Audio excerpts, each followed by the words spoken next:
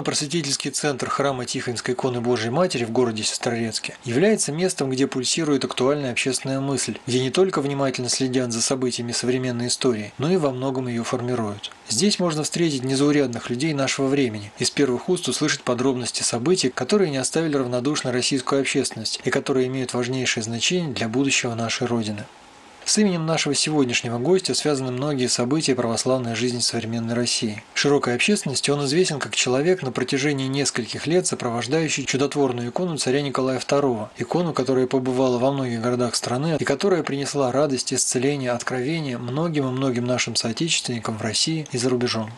Пасхальную ночь 2017 года в казачьем храме Тихонской иконы Божией Матери города Сестрорецка произошло сретение чудотворной иконы царя Николая II и конвойской иконы царского конвоя памяти, а почетным гостем конвоя стал начальник войсковой православной миссии Игорь Евгеньевич Смыков. Первообраз иконы был написан э, в Соединенных Штатах, э, в русской Калифорнии, по заказу основательницы общества почитателей русского дворянства и Дмитриевны Дашмидт. Она в 1996 году вот, она получила наследство и решила употребить вот эту сумму на благотворительные цели такие церковные.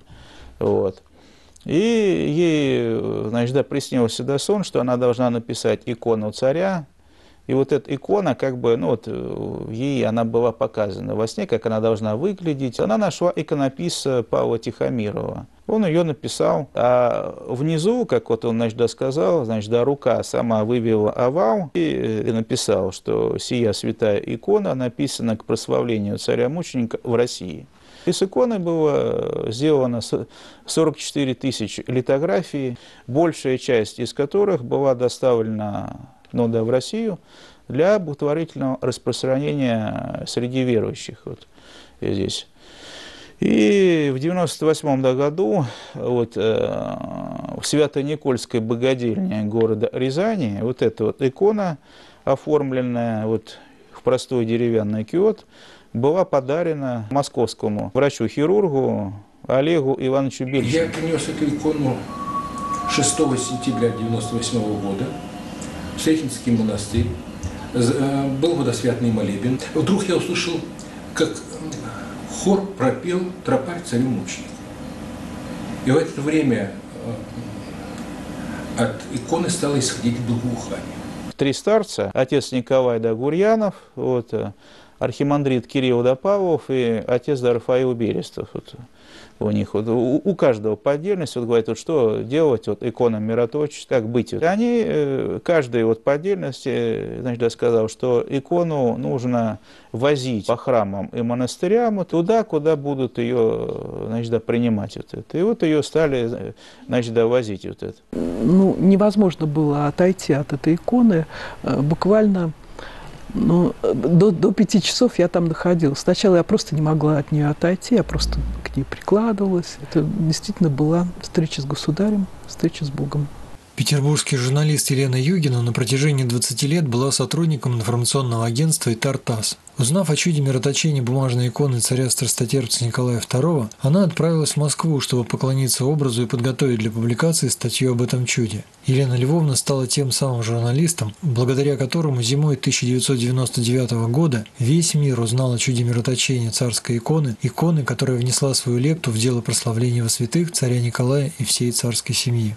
В первый день этот материал не прошел. И во второй день э, мне пришлось идти к главному редактору ТАСС, беседовать с ним. И решающий аргумент был о том, что вот вот подготовка к прославлению государя в России, давайте все-таки дадим такой материал, он очень важен. И он согласился, в конце концов, завизировал этот материал, и он прошел очень широко по всему миру. Не 13, не 14, а именно 15 января. Это день памяти преподобного Серафима Саровского. Сбылось предсказание преподобного. Государь, который, который меня прославит, того и я прославлю. И от нее совершались э, немало чудес, вот, и чудеса вот эти фиксировались. И это шло вот э, в комиссию по канонизации святых вот, э, при Московской патриархии. Вот это. И вот этот образ, он сыграл немаловажную роль вот, тоже в канонизации царской семьи. Отношение к последнему коронованному царю России Николаю II сегодня является едва ли не индикатором реального патриотизма. Четверть века постсоветских либеральных реформ завершают дело разрушения души русского человека, начатое за 70 лет до того большевиками-террористами. Нашему современнику приходится с трудом извлекать из-под завалов лживого хлама крупицы правды о царе Николае. Ну, сейчас увеличивается вот это все. То было 10 да, процентов за монархию, теперь уже 30 вот это.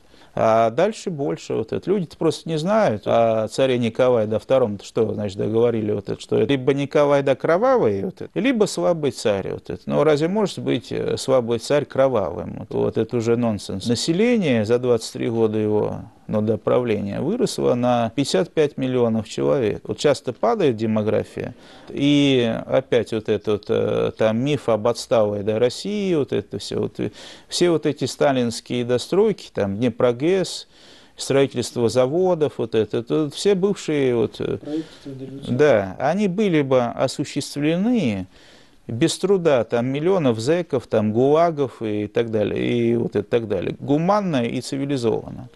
Вот, но, к сожалению, это не произошло, потому что э, значит, до смута народ заразился вот этим марксизмом и вот этими утопическими идеями, и профессура, и даже духовенство, вот, и великие князья, э, плюс опять спиритизм, оккультизм и грехи правящего значит, до слоя, вот, святой Иоанн Кронштадтский в своих допроповедях, то он неоднократно говорил, вот, что если, значит, да, русские люди не, не опомнятся и не покаются, вот, то тогда Бог отнимет благочестивого до царя и пошлет бич в лице нечестивых и гордых до правителей, которые э, зальют всю землю до крови.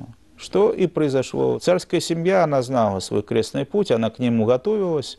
И даже, вот знаете, ну вот когда арестовали вот, семью, лишили свободы, то слабый в кавычках до царь Николай II, он не писал унизительных писем новым, значит, до правителям. Пожалейте мальчика Алексея, выпустите его, пожалейте девочек. Не стал унижаться. Вот это. Семья знала свой крестный путь, и они пошли на Голгофу, да, все. Мы знаем, значит, до пророчества тоже очень до много русских, но до святых и Серафима Саровского, и монаха Авеля, и Феофана Полтавского, и очень, очень, очень до многих до святых. Вот это, о том, что значит, да, в России по воле народа будет восстановлена православная самодержавная да, власть, и царь будет вот от Бога. И это будет чудо Божие, это вот, начиная вот с 98-го.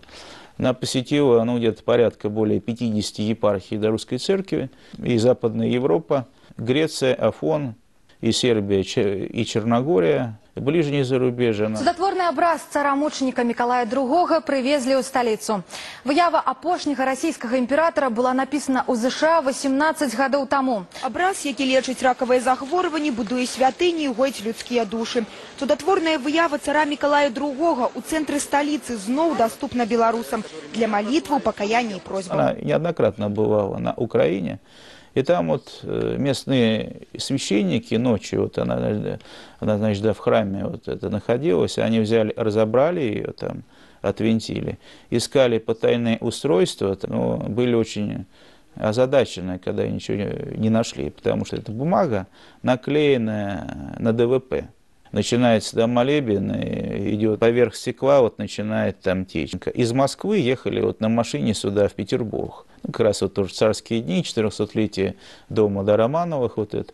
И вот при подъезде к станции Мясной Бор, вот по дороге М10 вот это, вот такой скачок резкие ароматы от иконы. А, а мясной бор, вот это, это место боев, там сколько он, десятки тысяч солдат вот, уложили. Вот. И здесь вот тоже тогда приехали в начале июля в Петербург, вот, в государя Феодоровский собор в Царском селе, вот только с машины да вышли, вот это раз э, икона из чехла вынимается, и струя мира пошла вот, значит, до слева прямо, вот, вот ну, такая с палец, вот такая струя потекла. Вот. Э, в этот вот э, в Екатеринбург, когда приехали, вот, значит, да, в храм на крови, вот, занесли вот это, только вот занесли струя мира тоже, значит, да, с палец уже по правой стороне, то есть вот альфа и омега. Наверное, самым громким событием, которое сделало чудотворную икону известной даже для светской общественности, стала общенародная акция «Бессмертный подвиг», когда в День Победы колонну из тысяч портретов страстотерцев, участников Великой Отечественной войны, вела икона страстотерпца государя Николая II. Тогда чудотворную икону царя пронесла по улицам Симферополя генеральный прокурор Крыма Наталья Владимировна Поклонская. Один из ветеранов войны, которого она посещала в больнице, рассказал случай на фронте, когда ему в трудной боевой ситуации явился в видении царь Николай и помог ему спастись. По просьбе ветеранов шеренги бессмертного полка с иконой царя Старстотерпца Николая II прошла Наталья Поклонская. Икона, подаренная сегодня э, от казачества православного, государь Николай Александрович и цесаревич Алексей держит в руке цесаревич державную икону Пресвятой Богородицы. Вот чудотворная икона государя, с которой я ходила 9 мая на День Победы в бессмертном полку. Вот именно это чудотворная икона, которая очень многих людей и исцеляет, и делает чудеса. И когда идет литургия либо служба, можно обратить внимание на стеклышках стекает мира и благоухает. Запах идет от иконы благоухания. Либеральные СМИ ей пытаются вот такой создать образ такой, значит, некой такой православной шизофренички. Вот, повернутые там на православие, на царе Николая, там вот на Матильде, на пресловутом фильме вот этом вот, так сказать. Вот. Мы-то знаем Поклонскую с другой, значит, до стороны вот это. Я бы ее, я бы ее, значит, да, сравнил вот это с Маргарет Тэтчер. У нее очень жесткий, значит, да, характер, вот это. Она отличный специалист и юрист, вот, и вот няш-мяш, вот этот образ, который там, это экс, экспортный да, вариант, он ну, не соответствует на самом деле. С сегодняшнего дня прокуратура Автономной Республики Крым работает в полном объеме, в интересах народа Крыма, защищает его интересы, законные интересы и предоставленные Конституцией, основным законом государства, права. Для этого я сегодня была назначена на должность прокурора Автономной Республики Крым, чем благодарна Совету министров Автономной Республики Крым и буду выполнять свои должностные обязанности так, как прописано законом Украины. И прокуратура будет отстаивать интересы и права только народа. У меня все. Она вела вот и, и довела до конца дело организованной преступной группировки, э, значит, дабы этих вот абашмаков. Э, да. Вот. И э, за это она тоже и, и, и пострадала, на нее было устроено нападение, вот, избили ее, вот, но тем не менее она очень принципиальный человек вот это, здесь. Вот. Она хороший специалист, юрист, вот этот, э, очень такой толковый, вот этот, искренний человек, вот это, она верующая, православная, вот, почитает э, вот, э, императорскую семью царя Николая II. Были вот в 16 в Екатеринбурге на царских днях вот это, и шли крестным ходом, там 24 километра, вот, от храма на крови э, до монастыря вот, на Ганиной яме. Она выдержала вот этот путь. Посмотрите, сколько людей. Каждым годом количество людей увеличивается на несколько тысяч, десяток тысяч. Около ста тысяч людей будет принимать участие в крестном ходе. Это та любовь, о которой говорил государь, когда передавал свои слова своей старшей дочери Ольге Николаевне, Отец просил передать всем тем, кто остался ему предан, чтобы никто не мстил за него, потому что он всех простил. И что то зло, которое сегодня, будет только увеличиваться. Но не зло победит зло, а только любовь. Вот такая любовь. Вот такая, которую мы сегодня наблюдаем все. Это река людей. Это любовь, которую не сыграют актеры. Это любовь, которую невозможно э, фальсифицировать, которую невозможно поставить замечательной актерской работой, срежиссировать. Это любовь, которая живет в душах, в сердцах. Любовь к нашему святому государю, к нашей Родине. Последние пять лет вот мы возим чудотворную мироточивую икону царя Николая II, которая вот э, сегодня была на богослужении вот э, здесь. Вот. И вот э, последние вот тоже, ну, где-то года три вот это, мы начали ставить еще памятники по России, памятники, значит, да, русским да святым, вот как вот Серафим да Саровский, вот, и царские памятники, вот памятники вот императору Николаю II.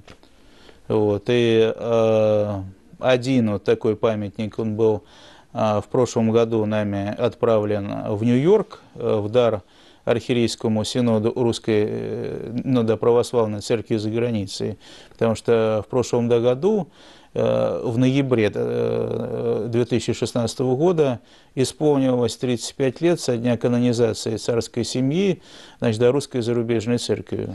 Вот. Также вот мы поставили вот и, значит, да, в Тамбове. В прошлом году, 16 мая, вот у кафедрального собора поставили вот бюст императора Николая II.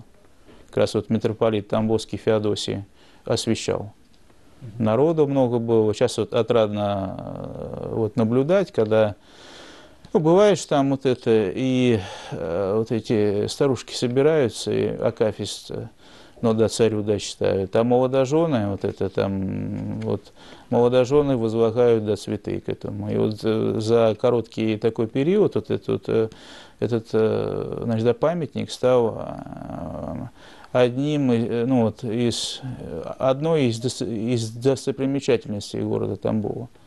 В Владивостоке, ну да, в Крыму, вот, э, в часовне в честь вот, царской семьи, которая при прокуратуре до Крыма, вот там совместно с Натальей да, Поклонской. Ну и ряд памятников вот э, здесь по России тоже вот это воссоединение церкви, это памятник вот, патриарху Алексию II, и митрополиту Лавру, ну, до главе до Русской зарубежной церкви. Вот два памятника уже, значит, да, стоят. Это первый был поставлен в Курской области, в Курской коренной пустыне. Второй был поставлен в Нью-Джерси на территории значит, Русской зарубежной церкви. Вот. А третий памятник, вот сейчас вот э, святейший патриарх Кирилл дал свое э, ну, да, благословление вот, и памятник будет поставлен у храма Христа Спасителя. Вот, он изготовлен да, в Москве, вот этот вот бывший Клыковской э, значит, да, мастерской, арт-проект. В 99 году по благословлению патриарха Алексея II был осуществлен крестный перелет по периметру до границ бывшей Российской империи.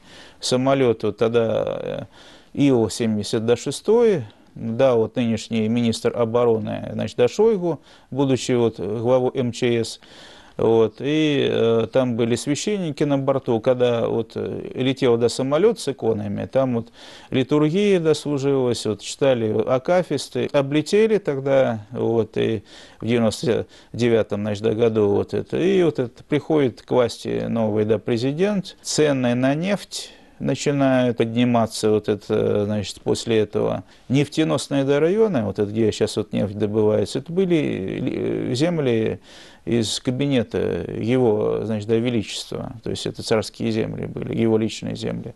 И все же оболганный и убитый царь Николай продолжает оставаться царем своего народа. Живые побеги правды взламывают окаменелые пласты лжи, радуют глаз свежей зеленью. Святое мира, обильно истекающее из листа бумаги, на которую печатная машина нанесла изображение святого государя, побеждает затлость прошлого. Русские люди, из которых божьим чудом еще не вытравлен русский дух, продолжают любить и почитать царя и его святую семью.